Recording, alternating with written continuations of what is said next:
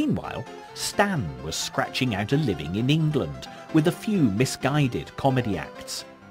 In the end, such was the extent of his poverty, he rejoined the Fred Karno comedians for another tour of America.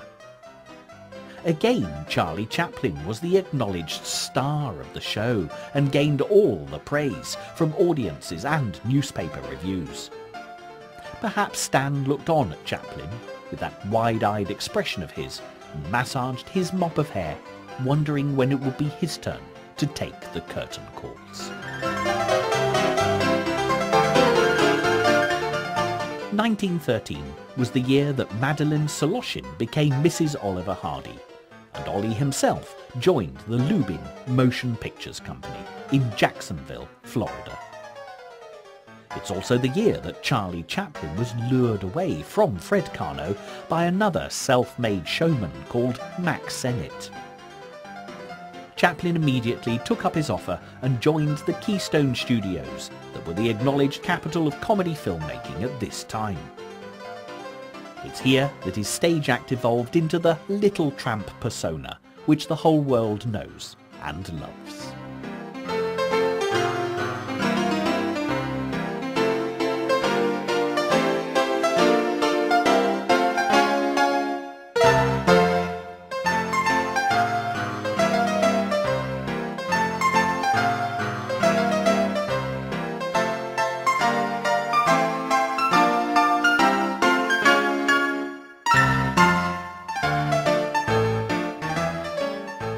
Of course, Chaplin's hasty exit meant that the Fred Karno tour quickly folded, and Stan was once more forced to scrape a living by setting up a comedy act of his own. This time, he stayed in America, perhaps because his homeland was on the verge of entering into the long and bloody First World War, and young men of his age were being enlisted into the army at great speed. The bright lights of mortar shells and the rat-a-tat-tat of machine gun fire were no match for the bright lights of the stage and the rat-a-tat-tat of applause. In 1917, when all the world seemed to be trying to imitate Chaplin, Ollie paired up with a thin comedian called Larry Semon. Stan had set up a comedy double act with an amply sized female comedienne called Mae Dahlberg.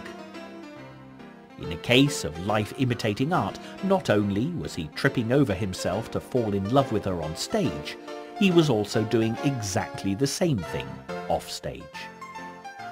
Their only other stumbling block was that Mae was already married. However, this didn't stop Stan from changing both their surnames to Laurel so that they could live as a common law couple.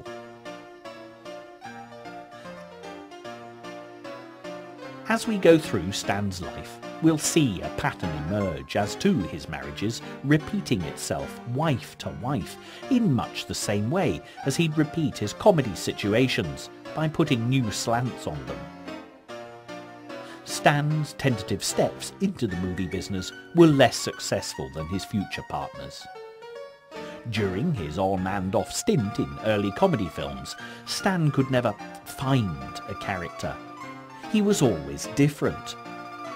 Whereas Ollie's character grew out of a long line of similar roles, in the style of that other legendary fat man, Roscoe Arbuckle, Stan's direction to the clown we all know and love was a lot more haphazard.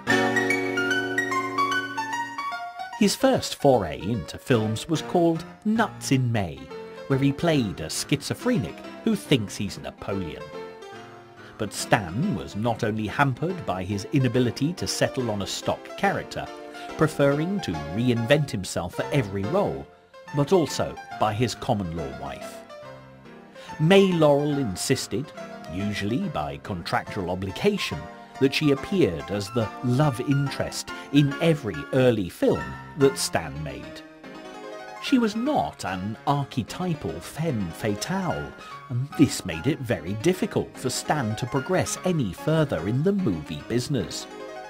It was only after her departure that Stan would start being noticed. In 1920, after a barrage of insults were flung at each other like poisoned custard pies, Oliver Hardy was granted a divorce from his wife, Madeline. He'd fallen in love with a fellow employee, a young girl called Myrtle Reeves. They were married the following year, on the 24th of November, Thanksgiving Day. A few years later, Stan followed suit. He said goodbye to his common-law wife, Mae Laurel, and in 1926 he married Lois Neilson. Like all good comedies, his first unofficial wife would return later to lay down some more marital banana skins for Stan to slip on. But for now, she vanished into the night with her memories and a hefty bankroll. By this time, Stan and Ollie had been headhunted by the Hal Roach Studios and were working there as separate entities. Stan was primarily a writer and director, whilst Ollie was a supporting player. Yet it wasn't Hal Roach who teamed them up initially. This fell to a man named Leo McCarey, a two-time Oscar-winning director who started his career at the Hal Roach Studios. In doing so, he created a comedy double act that would continue to delight and entertain audiences to this day. By the time they started appearing in partnership, Stan Laurel was 37 and Oliver Hardy was 35. It was perhaps the lateness of this success that kept their feet on the ground and their egos in check. Leo McCarey proved to be a great influence on the Laurel and Hardy combination, for it was he who managed to slow down their comedy. Early comedies all took their cues from the ever-popular Mack Sennett films, where everything was played at a hectic pace, jerky, speeded-up chase sequences, over-the-top gestures, and exaggerated comic costumes were the order of the day.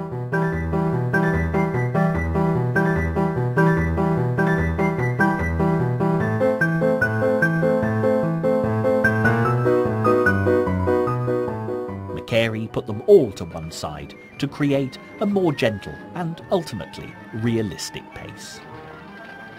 The end results were still as ludicrous or calamitous as before, but the build-up was slower and more measured. In their first official film as a team, Duck Soup, Stan and Ollie reused an old sketch written by Stan's father, A.J. Jefferson, dating back to 1905. It only goes to show that comedy, like a fine wine, continues to improve with age.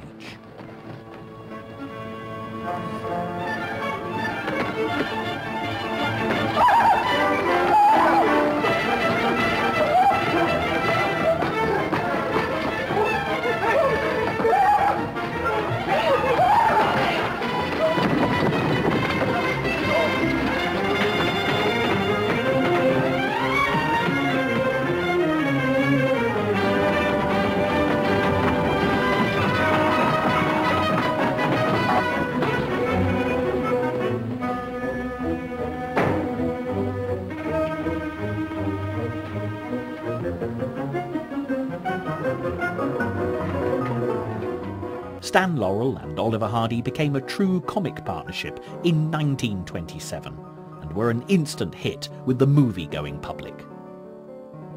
To end the year on an even higher note, Stan's wife gave birth to a daughter who was christened Lois, like her mother.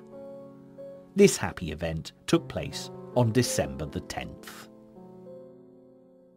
In creating the look of Laurel and Hardy, Hal Roach Studios opted for something instantly recognisable, but something with which the audience could empathise.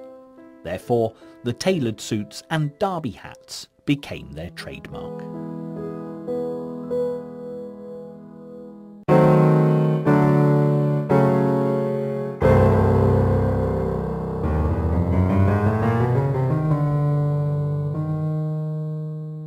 At the beginning of the century, for a long while afterwards, it was